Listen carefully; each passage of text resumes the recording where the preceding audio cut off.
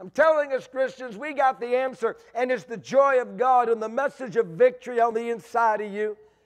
And it has got to shine out of you, out of every, out of every cell in your body. You are, you are the temple of the Holy Spirit. Do you realize that? Every cell in your body is a house of the presence of God because your body is a temple of the Holy Ghost. Because so the Word of God is shining through every part of your being. Bible says, because of that I am quickened, I am made whole. I can walk in the healing power of God because I let the Holy Spirit shine through. That's just through my leg and through my whole being. Shine. Shine. Walk in, shine. What are you doing? I'm shining. Shining. That, shine. We all shine, church. the stars in glory. You're going to be like the angels in glory. You, you can't even look at some of them. You are going to shine so bright. You are destined in eternity to shine and reflect the glory of the Son of God without any hindrance. You are going to shine and reflect all His glory. Bless God. May be in an inner vessel, may be in an earthen vessel, but every cell in my body, you get to shine the best you can. Shine, shine, shine. Glory, glory. Got your Bible to Isaiah. Isaiah 35, we'll start there. We want to bring everything back. We want to bring a nation, a generation back into divine covenant with God. Take this day to, to face hell's kingdom with the glory of heaven. Find out what belongs to us and at times what we lose and how to get it back. Somebody say yes. Isaiah 35 speaks about an event of the kingdom power of God what is going to be demonstrated and what you and I are actually seeing and, and walking in with the great outpouring of the Holy Spirit from the book of Acts, Acts 2, all the way on, actually starting in the very ministry of Jesus to today. God's kingdom and God's glory, but there's always an attempt to hinder that by hell, but there's always a way to get the reign of God back. Confrontation to victory. Send the rain, Lord. Send the rain. Bible says in chapter 35 and verse 1, I'm going to read this. The wilderness and the wasteland shall be glad, and even the desert land shall rejoice and blossom. Says blossoming time. God says it doesn't matter how dead and dry it was, one touch of the Spirit of God, and everything is revived that's been broke in your life. He's giving you a natural vision to show you something spiritual, where He's showing you that all the waste desert land, suddenly by the transformation of God's presence, suddenly begin to blossom and shine with the abundance of what God could produce. And it's a symbol and a sign of what God wants to do in every heart and every life. It shall blossom abundantly at the rose with the joy and singing. Somebody say joy. joy. Somebody say joy. I, I understand there's COVID out there, but in the middle of COVID, you know what I got? Joy. Who's got joy? Come on, that's but joy of the Lord is your strength. That is your victory. I possess joy. Devil, you cannot have, you cannot have my joy. You cannot, that's my joy. That's God's joy He gave to me. That's says my joy. You cannot have my joy. COVID cannot have my joy. It cannot have my joy. Why? Because it's my joy. I'm going to stand in my joy. I'm going to shout with my joy. I'm going to sing with my joy. I'm going to overcome with my joy. I'm going to get breakthrough with my joy. I'm healed standing in my joy. So it says, so all the glory of the provisions of God that belong to the body of Christ to walk in. He says, the glory of Lebanon the greatness of the cedar trees, the, the governmental authority of God, the beauty and its splendor. Come, your kingdom, be done your will. I'll give you the splendor of the mounts of Lebanon. In its snow capped peaks, revealing the tall and the strength of the cedar. I will give you the blessings of the governmental authority of God. How do I know? Because the Bible says you will reign in Christ. And in the name of Jesus Christ of Nazareth, every knee shall bow, every tongue shall confess, because Jesus Christ has given you authority. You have authority. That's what belongs to you in Christ. The excellence of Carmel, and we're about to go there. Carmel was a beautiful mountainside, and it was along the very coast of the Mediterranean Sea. It was a place of beauty and beautiful splendor. It also was the platform that housed the greatest of the prophetic voices. It was a platform where Elisha would have the schools of the prophets. It was a place in a mountain where even the altar of God had been placed. And throughout the nation of Israel, while men looked for that place, they would set an altar and claim it for God. Set an altar and claim it for God. Yes, they put up altars, but they always built them the right way, and they would claim it for God and claim it for God and claim it for God and claim it for God. And even on Carmel, there was an altar that belonged to the Lord God, the Jehovah God. And all of this purpose and where the voice of the prophetic would keep a nation standing in the right place and in the right order. For when it's untainted, the voice of God leads and directs. There's the inward witness of the Holy Spirit that will tell you this is the way, walk thee in it. The Holy Spirit of God always leading and always directing when it's walking in the pureness of heaven. It is like the prophetic song of the Lord, the gentleness of God moving and ministering and driving and leading you. And there, that beautiful mountain declaring the prophetic of God that would lead and direct the nation. Bible says even the valleys of Sharon the excellence of Sharon, the valleys of provision, no lack, the government of God, the prophetic word and heart of God, and the very provision of God. God's called every one of his people to walk in it so that you find that you have no lack. No matter what you go through in life, you've got authority.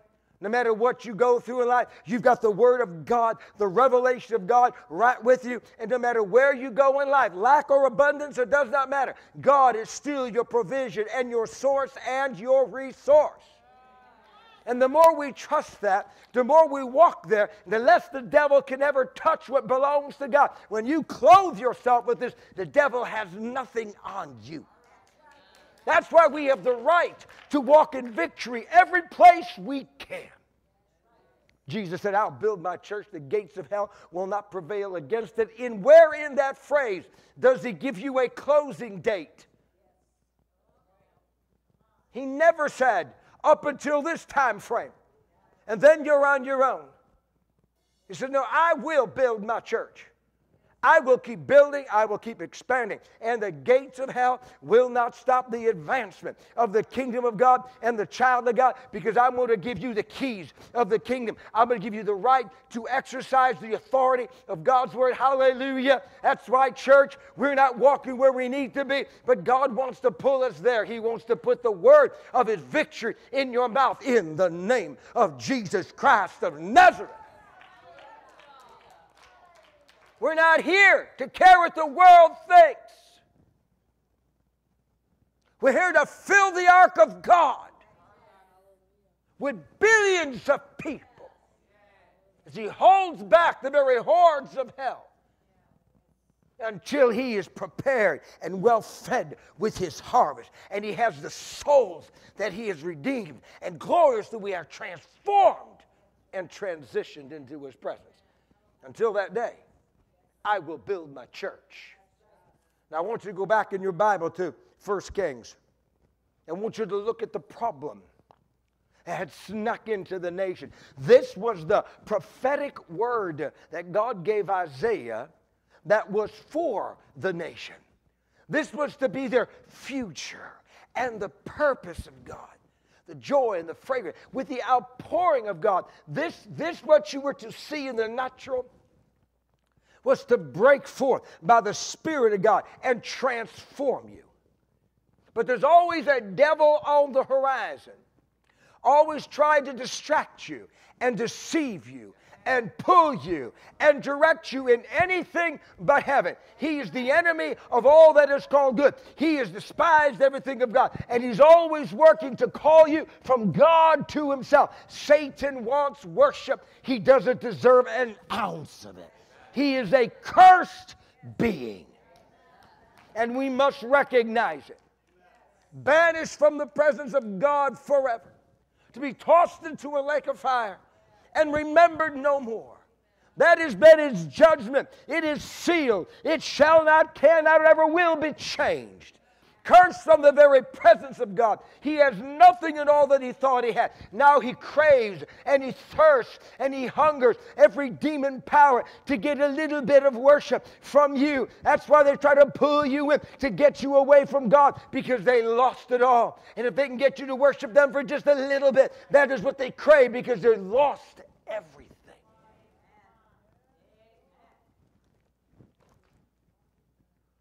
Chapter 16, 1 Kings. I want you, I'm going to read a few of this. So stay with me. We need to see what took place.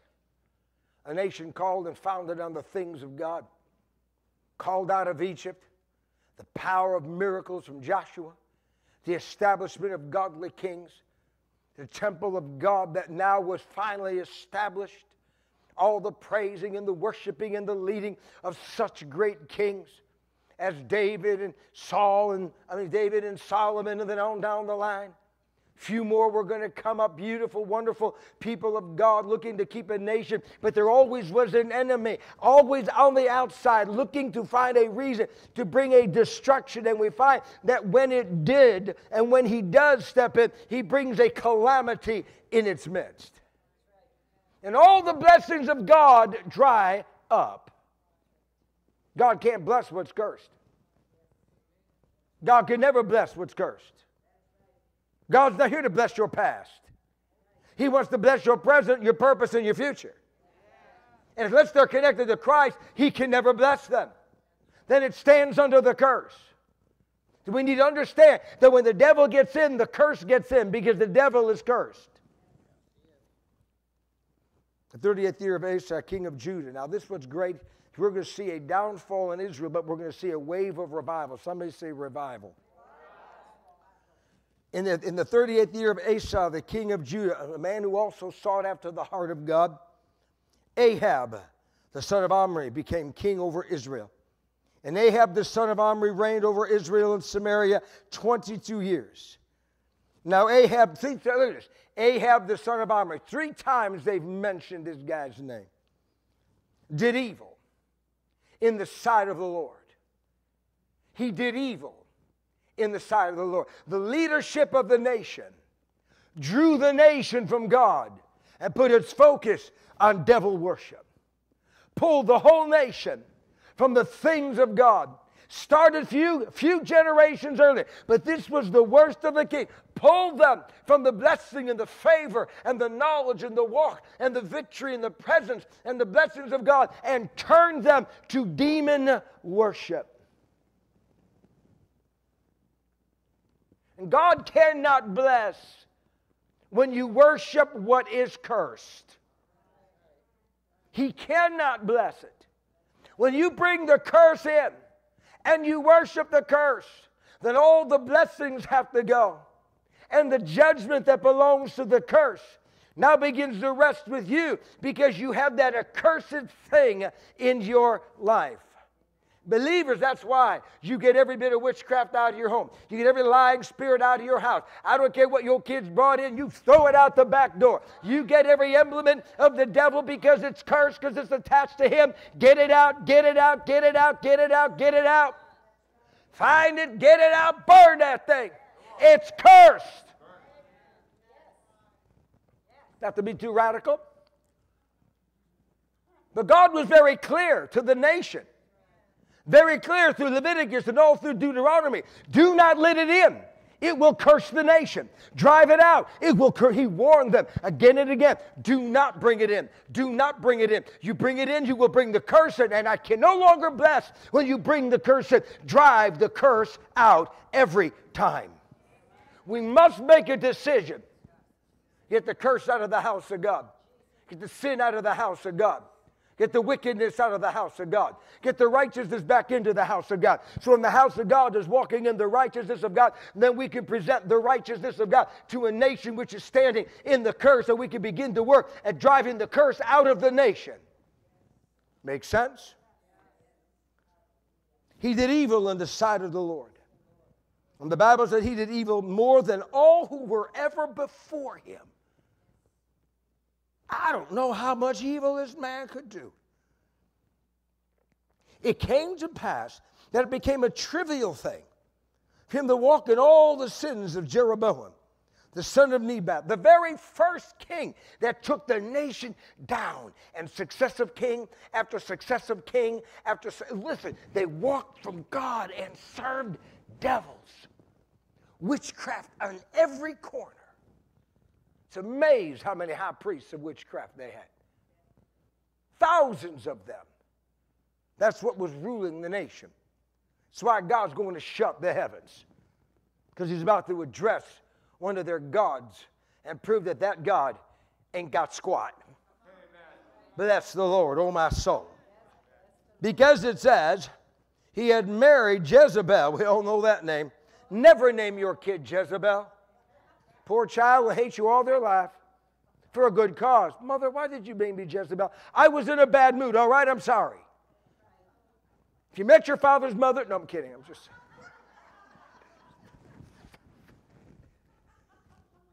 I know, I know. how it's like, really. Come on, some of you were thinking of somebody as soon as I said that name. Mm-mm, so don't give me that. All right. It said, and he went and served Baal and worshiped him. He drew the nation to worship the chief of all the devils. This is like worshiping Satan himself. There are trillions of demon powers, principalities that all want worship.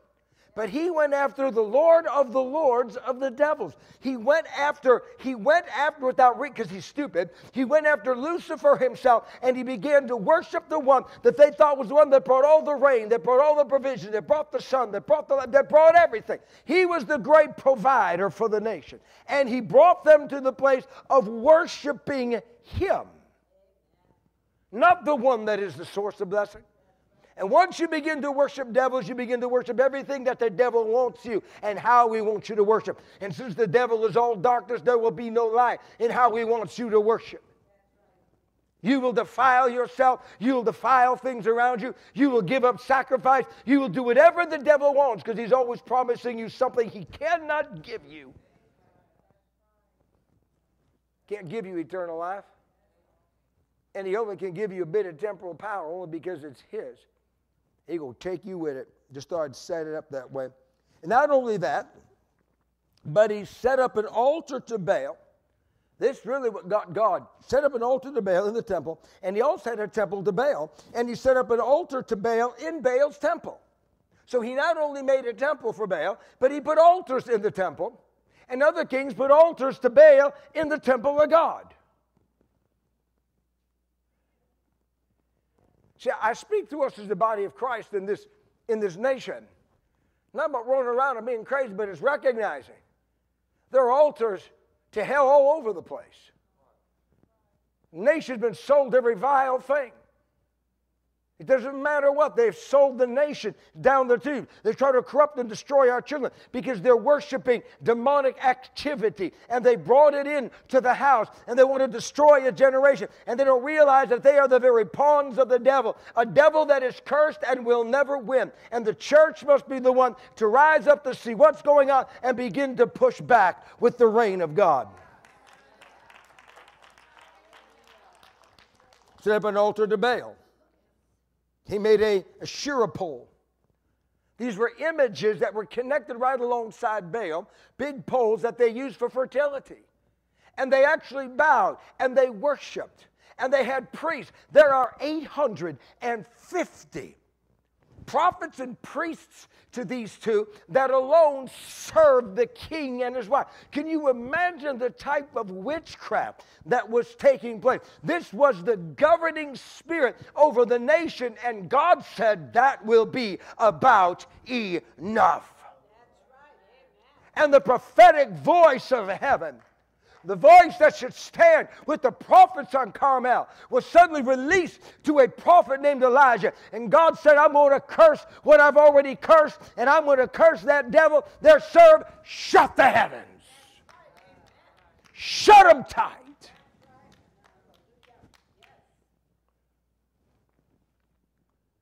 But hell itself was destroying the people of God. So God was coming to get the attention of the people of God. He said, I'll show you what I'll do. I'll shut the heavens. And God put the word of God on the prophet. He said, You shut those heavens and you hold them shut till I tell you to open them. Notice there was no Baal, there's no devil, there's no Lucifer, there's no nothing else that could unlock what this man had just done because it was by the word of God. And when God gives that word, ain't, ain't a devil in hell that can undo the word of God. They're not a devil anywhere. They don't have the power. They're not in the throne room. They don't have the glory. They have nothing. Their whole throne is the earth, far below everything that God is. They've lost it all. So when God releases a decree, it is far above every principality and power. And when He releases the word, ain't no devil can reach, grab, claw, scratch, stop it. They can't do it because you've released the word of God. Do not fear devils. As a child of God, do not fear them. Chapter 17, it was Elisha the Tishbite the inhabitants of Gilead said to Ahab, Tell you what you and your wicked administration are about to go through. As the Lord God of Israel is before whom I stand, there shall not be dew nor rain these years except at my word. Okay, let's see what we can do. All the prophets of Baal, all the prophets of Asherah, all these prophets and prophetesses are out there constantly dealing with their demons, trying to hear from a seashell, conjuring up what they can, worshiping their idols, doing everything they can to try to get their demon powers to reverse what this prophet of God had stopped or what this prophet of God had done. And you know what God did? God whisked the prophet of God away. So since the word was already said, you can't get the prophet, you can't get the word. So all of the devils, all of these, all of these worshipers had to try to change what God had done for three and a half years, they were of, they had nothing. Think about it. They're worshiping all day long. They're sacrificing to Baal and Asherah. They're all over 850, just the ones that were with them, let alone the thousands of others they had released across the nation. And not a one of them could change what God had done. We have such a mighty God. Doesn't matter what disease tries to fling in or fling out. It will not change the plan of God. It cannot stop the plan of God. It cannot interrupt the plan of God. God already knew what was going to come. And when God knew what was going coming, He already had the plan to drive right through no matter what comes. He will build His church. No gates of hell can stop what God is doing, and the church needs to recognize do not fear. Do not fear Three and a half years, God hid the prophet. Three and a half years, the nation went into drought. Three and a half years, all the prophets of Baal could do nothing. And then God said, Now it's time for a confrontation. Somebody say, confrontation. Confrontation is what brings the victory, especially when you stand strong in the confrontation. People don't want to contend with the devil, but the Bible says you're not at war with mankind. You're at war with principalities and powers and spiritual wickednesses in all kinds of different places. You are at war with the devil. That means you are in a contention with the devil. You might as well realize it and figure it out. You are at war with the devil. That's why you put on the whole armor of God. Not to just look shiny, nice at a coffee, tea, whatever. It's so you can go to war against the devil. You are clothed with the armor of God to win the battle.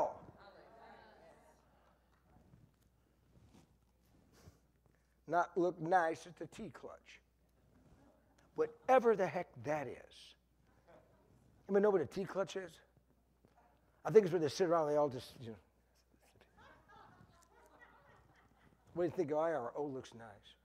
Oh, you got, oh, your armor looks really nice. Your armor's this color, your armor's that color. Wait a minute, your armor ought to be a little bit used. Tell me what color your armor is. Show me the dents. Show me the dings. Come on, people. Your armor, your armor needs to be shown as it's been used. Chapter 18. God puts it, God releases the prophet. It's time to go and face Ahab. It's time to bring this thing around. Time to take back what the devil has stolen for the season. Devil comes to steal, kill, and destroy, but Jesus said, I've come to have life. Always expect Jesus to come that we may have life always expect Jesus to come. Always, he is the guy on the white horse coming to riding on in with the horse and the white hat or whatever it is, coming to be your rescuer and your deliverer. Jesus has always got an answer. He's always on his way in. Doesn't matter what the devil came to steal, kill, and whatever. He said, I have come that you may have life and life abundant, and that is not changed. Doesn't matter what the devil does, Jesus is always on the horizon. He's got the breakthrough, it's right there. But sometimes it's connected to the confrontation. So, so here you've got to get the people to take a look and make a decision. Who are we going to serve? Who is going to be God over our lives? From whom comes the blessings and the victory and the grace? From whom comes eternal life? Who is the one that can heal the sick, raise the dead, cast out devils? To whom do we serve that we get the peace of heaven and the glory and the joy of God? You do not get any of that from Satan's kingdom. You get heartache and headache and brokenness and disease and fear and death. You get nothing from his kingdom that has anything to do with God. You get nothing. But the people needed to see the demonstration. So God said, It's time to demonstrate. Since your God's supposed to be the God that can bring the rain and everything else, let's see what He can do. I'll give you a chance here. So what he says is, now therefore, verse 19, chapter 18 of 1 Kings, he says, now therefore, and this is Elijah has the confrontation with, with Ahab. Isn't it funny that evil always tries to blame good when evil things happen? Evil did it. They did it. But then they blame you when something happens because they did it.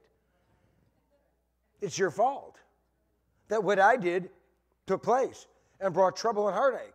Somehow it's your fault. Why? Because I don't like you. I don't like anything about you. Why? Because you don't worship the God I worship. And I want to worship devils and demons, and you don't like my devils and demons, so I don't like you. Who's offended?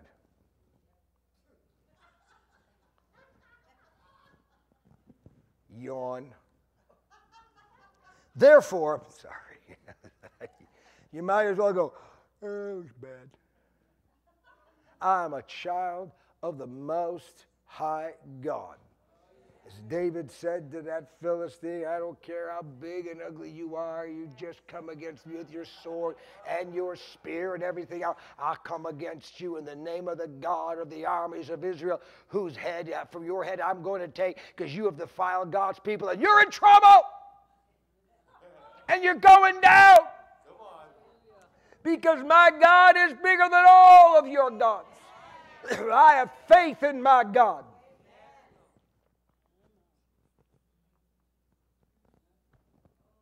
Got to get that attitude when we go to war and prayer.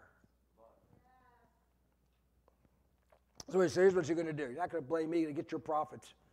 We're going to meet at the place that's supposed to be the prophetic heart of God, and we're going to take it back. We want the word of God now going over this nation, not the word of devils and demons and darkness the spirit of wickedness around every corner. We want the word of the Lord reaching over our children and the generation. We want the body of Christ. And when the Bible says, Your sons and your daughters, they shall prophesy. Devils tried to make them prophesy his language. We want to have them prophesy God's language. This young generation needs to know the authority of the Holy Ghost and begin to preach and speak and teach and declare the very things of heaven to the very chagrin and the fear of those that have tried to put the spirit of hell on them and destroy the very bodies and the very life. Won't it be amazing when the generation suddenly jumps up and begins to sing in the Holy Ghost, pray in the Holy Ghost, prophesy in the Holy Ghost? They, are, the enemy is going to scream, and it will not matter. Devils always scream on their way out.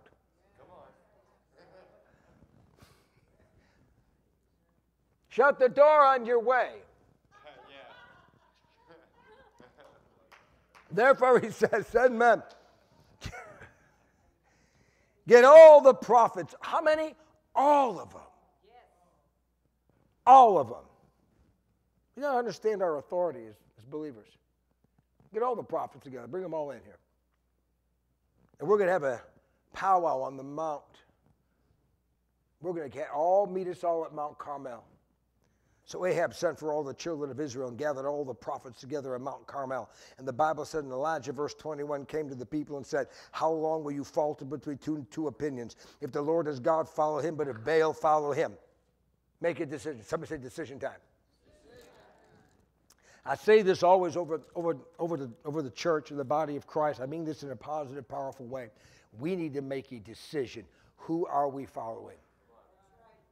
If we are following the leading of the Holy Spirit, then we always need to be driving forward and taking territory back. Go in and take back everything the devil has stolen. Every time we see, every time we walk, walk by the Spirit of God, we should always be going in and taking territory back. But when we start faltering, we sit down and do nothing but complain about everything that's happening in our lives. And then we want to blame God, and then we want to blame this, and we want to blame that. But we don't want to get up and let the Holy Ghost set a fire underneath your behind so you begin to run the race in the Holy Ghost. It's confrontation time. We make a decision. We can no longer falter between two positions. If God is God, let's go to war for God.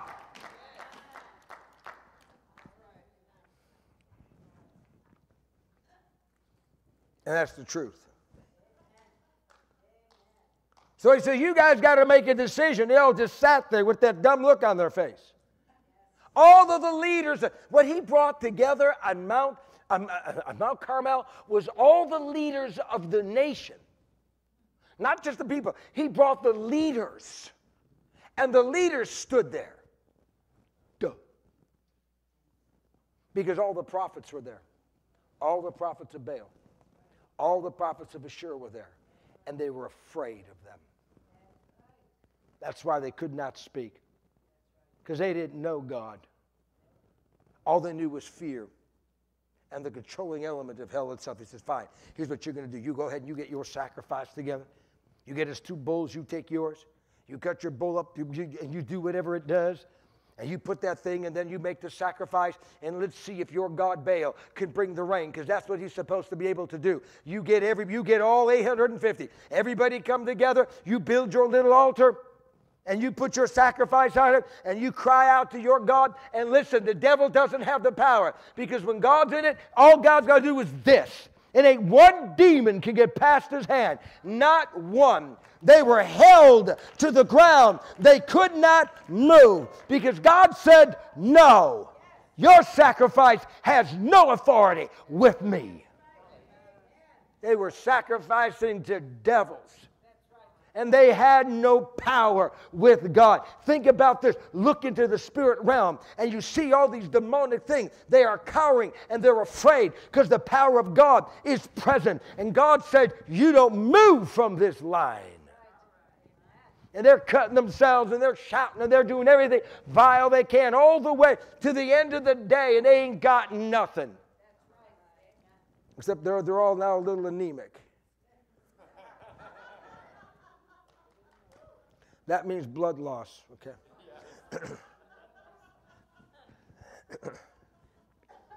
so Elijah says, okay, that's about enough. Somebody say that's about enough. He gave the devil is he gave them a chance. And the reason why he did is because he knew that was going to be God's turn. Do not fear devils. Doesn't matter what all comes out then it's God's turn. So we say then it's God's turn. It's always going to be God's turn if we let Him. Say if we let Him, if we let Him, it's got to be God's turn. God's turn's coming. It's, it's God's turn. Devil can throw all he wants, stick whatever he wants. Then it's God's turn. Somebody say then it's God's turn. Now it's round two. Listen, it's God's turn. Elijah stood alone against 850 of the prophets of Baal and Ashtoreth who were worshiping the very top of the demon line and he stood alone, and he's a man just like you and I. He is no different. James says he's a man of like passions. Just like you and I, the effectual fervent prayer of the righteous man has much power with God. So as Elijah could, so could you. He was no better or different. All you had to be was an available individual to hear the word of God and stand your ground. It didn't matter. Jesus drove out thousands of demons from one man.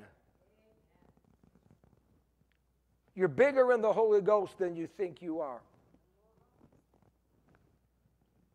We're bigger in the Holy Ghost than we think we are. And that's what the devil has done so good for. We forgot the power of God. We forgot the Word of God. We forgot the anointing of God. We tossed the gifts of the Spirit out because it's not protocol, status quo. It won't just grow our churches full of dead people that don't know God and have no power to fight against God. They have no Word in them to know who they are even in God. And whether or not they're even saved is a, is a big question mark in some of these places. How is that the church of the Lord Jesus Christ? It is not. They can't face one demon, not one disease they have no knowledge. That's why we got to be the way we are, church. We want to confront a nation. We can't do that till we confront the church of the Lord Jesus Christ in love. Can we stand right here like Elijah by the word of the Holy Ghost? Because you know the Holy Ghost, because you have a relationship with Him. You know God is real. And if the Holy Spirit wants you to stand your ground, you know God is right there with you. It doesn't matter if there are 10,000 come against you, it shall not come nigh your dwelling because you know who you are. The boldness of grace. That's why Elijah stood there because he had all of heaven on. Somebody say, I got all of heaven. I got all of heaven on your side. It's all heaven on my side. But you got, oh, I got all of heaven on my side. There ain't nothing in heaven which is not on your side. The devil may have taken a third, but there's the other two thirds. the deck is still stacked against him. Let me bring it through here. So he had about enough of it, and he said, Now, it's time to make a rededication. He said, Come here, this is verse 30. He'd had enough of their aimless sacrifice. It was doing nothing. it was all smoke and mirrors. Ain't no rain coming. Listen, you go on, don't be heading off to the, to the stargazers and, and the people who read your palms. And I said this in a program years ago just get your money back. and here, I got your future right here. I got your direction to live right here. I got the blessings and promises right here. I've got how to walk in it right here. You don't need some liar, some charlatan, some fraud taking your money and then putting their devils on you, and you end up going nowhere when you got the answer right here. You don't need it. Put them out of business. It's because nobody knows this. That's why they are being funded. Because we don't know the word. But Elijah stood and he says, All right, everybody, come here, come here, come here, come here, come here. In verse 30 says he did something. He found the altar that had been broken down. An altar had been put there some odd years ago, and that was a place where they had worshiped God. Had been busted down because the altars of Baal were standing in the way, and, and the things of God had been crushed. That's why the prophetic has got to come this way. And he said, First, we're going to do, we are going to rebuild the covenant standard of God. And he took that altar and he went stone by stone. 12 stones and built himself a nice altar back. But the altar is not enough until the, until the sacrifice is consecrated. And that altar represented the entire nation of Israel. It represented the covenant of them coming out of Egypt. It represented the covenant of going into the promised land. It represented everything that God had said to them, all the miracles God had done for them, everything God talked about his angel and his presence being with them. That altar declared that Jehovah God was their God. And you and I serve the ultimate in him and his son, the Lord Jesus Christ. We've got the altar, and our altar has become Calvary. And now the altar is now empty, and the tomb is now empty, and we got a king who is now sitting in glory saying, I am the true altar, I am the true sacrifice. And everything they had offered was failure. Get God's altar back first. And that's what he did. With his own hands, he built this altar. And he got all the wood and put it all over it. He made a consecration and a dedication. They took what they needed, the water, and they poured it all over it and poured it all over it and poured it. They saturated everything. Not a cloud in the sky. Consecrate yourself. Somebody say consecrate. Got to win a nation. We got to give ourselves wholly to God. That was pouring out of everything. Everything they poured. The water is what they needed, but it was a water is what he poured out. And I mean, I mean, big jars of water, big jars of this of this commodity that they needed, and poured more and poured more and poured because he made sure it was fully consecrated. And he stood back. He rebuilt the things of God. He said, This, the standards and the covenants that this altar represents, are the standards and the covenants on which the sacrifice, which will ultimately be Jesus Christ, will rest. And this and this only is the covenant that God will honor and bless because the fragrance of the covenant He established is what comes before His nose. And when He smells the fragrance of true righteousness, that's when the blessing begins to come and the rain begins to come and the curse is lifted because God's nostrils are satisfied with a righteous sacrifice and he builds it and he puts the offering up there and he tells the Lord and he steps back and says, Lord, this is what you told me to do verse 37. He said, God of Abraham, Isaac, and, Jacob, this is verse 36. Let it be known this day that you are God in Israel. You, you, you, not Baal, not Asherah, not New Age. No other religion can shake the heavens like this. No other religion can bring the rain. No demon can bring the rain. They ain't got the power, but God has got it all. And he says, You know, hear the one and you know that I'm your servant. I've done all these things at your word. Your word has held the heavens, and now your word is going to open the heavens. At your word, think about the power of the word of God, church. Let's get that down.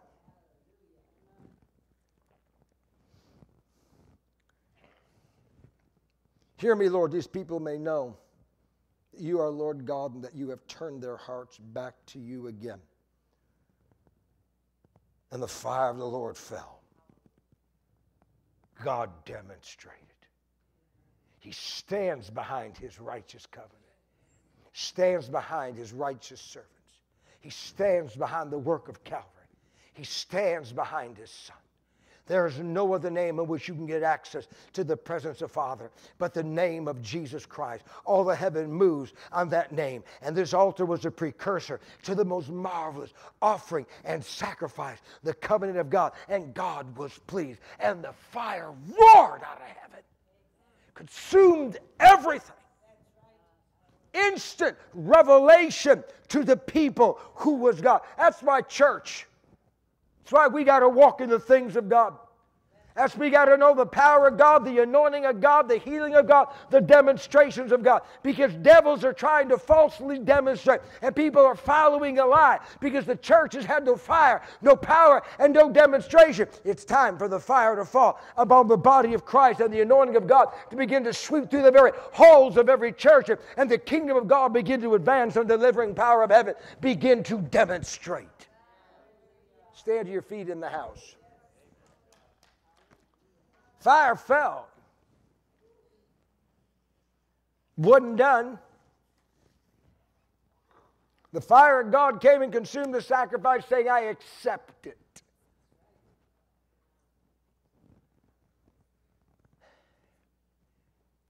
And I always encourage pastors and churches and believers, all of us together as one accord, does God accept us?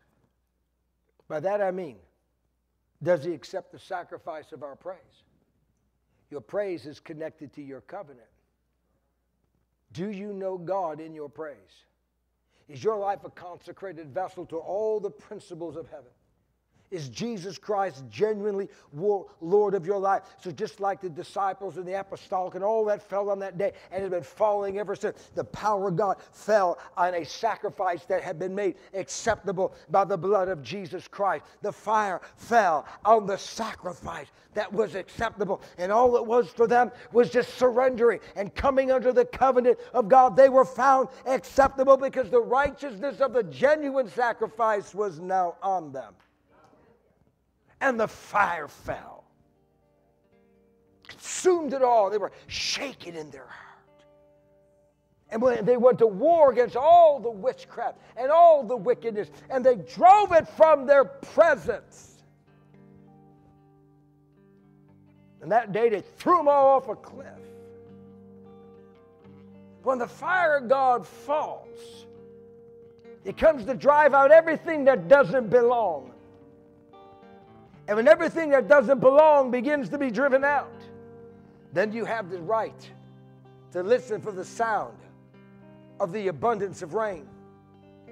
So that all that Carmel and all that the great oaks of God and all that the all that the Sharon Valley, all that belongs to you can now come because the Bible will say in Isaiah, it said, because there's going to come springs of living water. It says in verse 6, Isaiah 35, because when all these things are happening, water shall burst forth in the wilderness, streams in the desert. I will give my thirsty ones satisfaction.